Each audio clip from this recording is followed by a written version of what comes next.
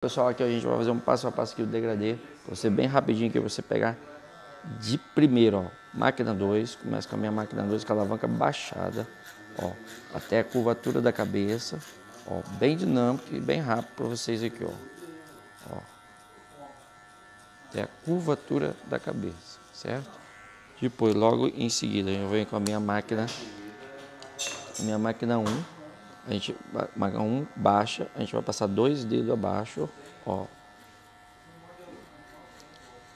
Quando você deixa um espaço bom desse daqui, você ganha em espaço para disfarçar. Então o seu degradê vai ficar mais cinza, que essa é a proposta do nosso degradê aqui. Deixar bem cinza, bem espalhadinho, bem bacana. Essa marquinha, o ideal é que você faça ela em movimento em C, ó. Esse movimento aqui. Porque aí você deixa um, um uma marca bem mais suave para você quebrar depois, beleza? Ó, passou a máquina 1, agora eu venho com minha máquina 05, a máquina MEI, e venho trabalhando aqui, ó, nessa base, ó. Eu vou trabalhar nessa base aqui, ó. ó.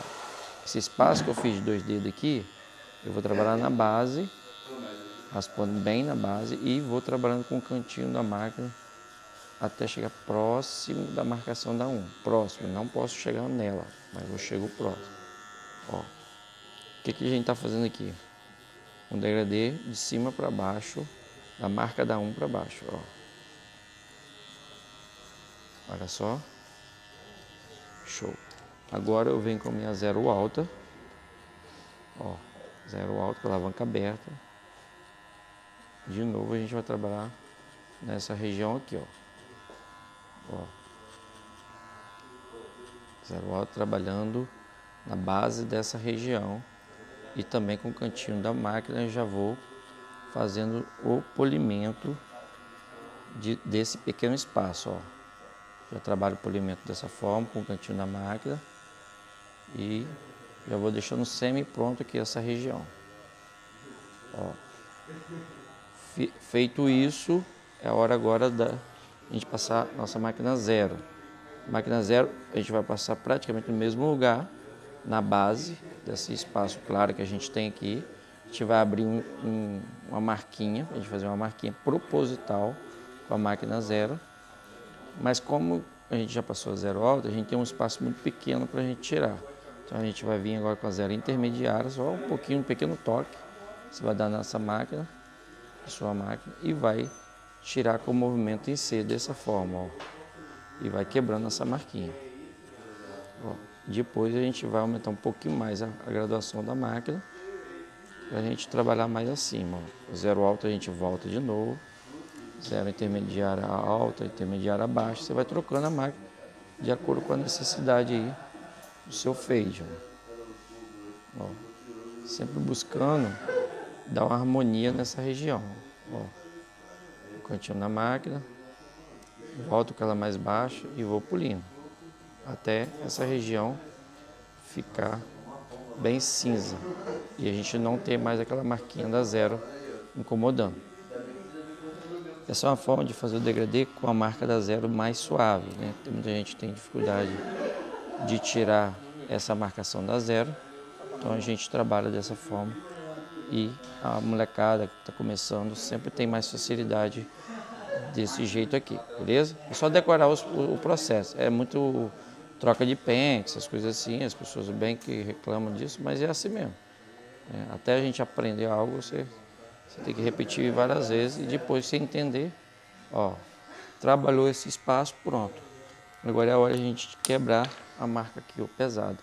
Dá, começa com o meu pente 1,5 alto, ó, com movimento ó, de saída, não é aquele movimento em C e nem um movimento reto de raspagem, é o movimento de saída, que é esse momento que, ó, que decola, literalmente. Ó. Depois eu venho com máquina em meio baixo. Ó, logo em seguida, bem rápido, bem dinâmico. Eu uso o pentezinho na frente para ajudar, dar uma provocada. Ó, feito isso, eu venho agora com a um alta Ó, mesma coisa, movimento de saída, ó, esse movimento. já ajudando a clarear ainda mais essa região. E logo em seguida, a gente vem com a nossa máquina 1. Aí sim a gente começa a trabalhar mais em cima da marquinha, ó. Com o canto da máquina, de vez em quando a gente dá um toquezinho para acertar um determinado ponto está escuro. E a gente vai trabalhando dessa forma, ó. Ó, pequeno estoque, dando esse polimento com a nossa máquina. Só alguns detalhezinhos. Ó, como é que já vai ficando bem cinza, bem espalhadinho. E isso que é o bacana desse degradê. É um degradê cinza, as pessoas sempre perguntam, ah, como faz esse degradê tão cinza? Parece que é pigmentação e tal. É dessa forma aqui, ó. Você consegue espalhar bem o seu degradê se você polir bem essa região agora. Show? Trabalhou bastante com a máquina 1, com bastante paciência, aí você vai trabalhando. Quanto mais detalhezinhos você tirar, mais cinza e mais bacana vai ficar o seu degradê. E agora eu volto com o meu pente meio para dar os últimos polimentos. Né? A gente entregar realmente um serviço bem bacana. Meio primeiro eu uso ele alto, com a alavanca aberta. Ó, meio alto para trabalhar com segurança, a gente ter certeza absoluta do que está fazendo. Ó, dessa forma. E depois eu vou vir com o nosso pente meio ó, baixo. Trabalhando mais os detalhezinhos mesmo também, com muito cuidado. Isso aqui é uma parte de polimento que requer realmente bastante cuidado para você não ultrapassar regiões acima da máquina 1. Ó, meio baixo, eu vou trabalhar nos detalhes e espalhando o máximo que eu consigo o meu degradê. Ó. Bom, basicamente ele está pronto, é um degradê para dia a dia. Se você vai divulgar na rede social, você tem que trabalhar mais detalhe dele, mas no dia a dia basicamente é isso. Agora eu venho aqui, ó, marquinha com a máquina de acabamento. Vou fazendo uma marquinha, estabeleço a marquinha, trabalho conta dessa forma. Eu vou tirar bem mais, ó. E aí eu inclino essa máquina e venho tirando. Ó, bem facilitado de fazer. Não posso subir muito, senão eu vou criar outra marcação. Mas dessa forma aqui eu já consigo ter um resultado bem bacana. Feito isso, é hora agora da gente trabalhar com a navalha. Show? Eu venho troco rapidamente aqui a minha navalhete.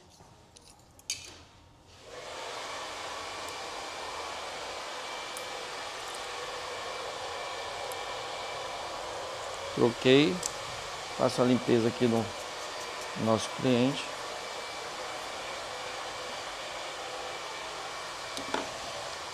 Ó, posso usar um pouquinho de água para ajudar a maciar toda essa região. E depois não precisa de cheiro, você pode trabalhar com creme, que é um creme de pentear mesmo. Ó, vai sair super bem, tranquilo, sem problema nenhum.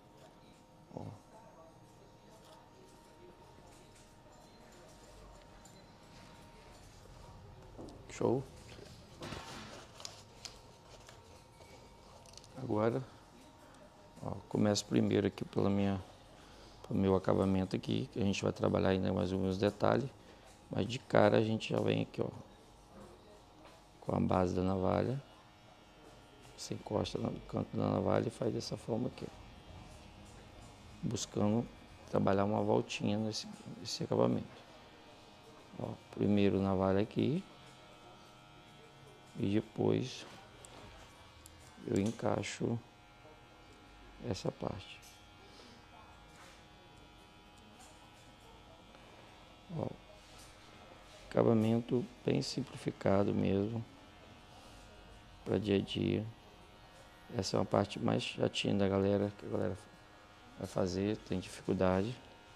Você tanto pode trabalhar uma voltinha mais aberta como uma voltinha mais fechada, dependendo da proposta e do gosto do seu cliente.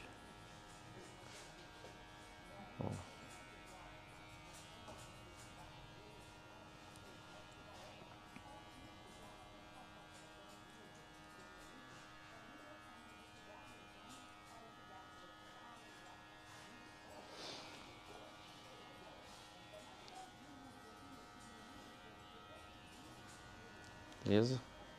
Agora eu venho aqui, ó, fazendo todo esse navalhado, com a navalha bem deitadinha, buscando realmente não criar uma marcação.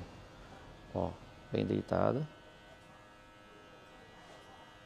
E a preocupação maior é na hora que você começa a navalhar. Porque se você vem com a navalha muito em pé, você complica toda a situação. E faço dessa forma.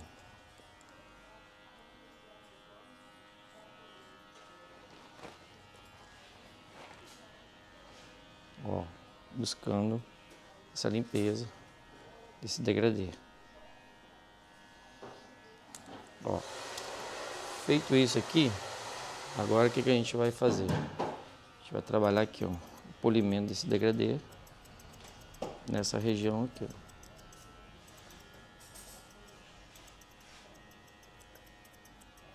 Gente vai mostrar esse lado. A gente vai fazer já essa conexão desse lado de cá. Para mostrar para vocês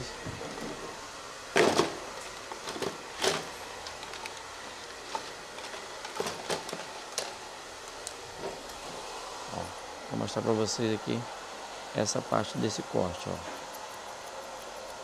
ó. Uma conexão bem feita, gente, vai salvar o corte de cabelo de vocês.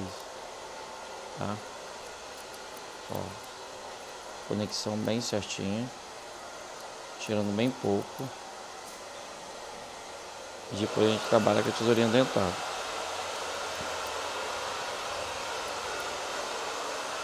Só quebro só um pouco desse volume. Ó. Com o técnico de corrido.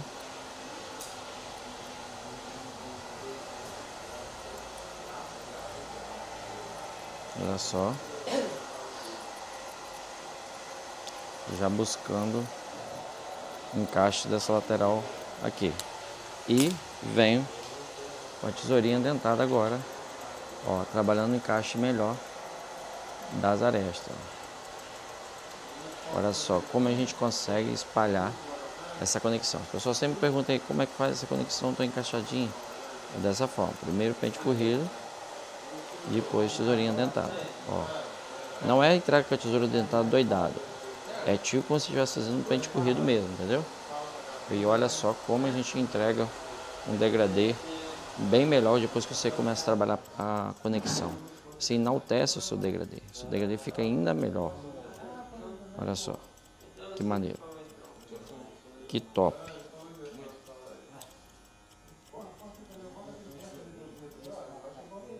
Ó. Aqui. Ó, se você não é inscrito no canal, se inscreve no canal aí. Tô postando conteúdo sempre, sempre mesmo aqui. É, para agregar valor na sua vida aí. Show? Só não dá bobeira. Agora a gente vai trabalhar aqui, ó. Esses detalhezinhos da, do degradê mesmo, com um pentezinho branco, ó, com o cantinho da tesoura aqui. E pessoal, olha só, você que está vendo as nossas técnicas aqui, está gostando do jeito de a gente ensinar, a nossa didática, quero te convidar para é, aprofundar um pouco mais o seu conhecimento, nosso curso online. É, vou deixar o link aqui da inscrição para vocês entrar na fila de espera. Então vocês ficam ligados aí que nós estamos lançando nosso curso online com bastante completo, mais de 70 aulas muito top mesmo. Pus para você destravar seu conhecimento e ó, ó, olha que resultado bacana pro dia a dia. Espero que vocês tenham gostado dessa dica aqui. Se inscreve lá, se inscreve no canal e se quiser o curso curso completo, profissional, um barbeiro completo.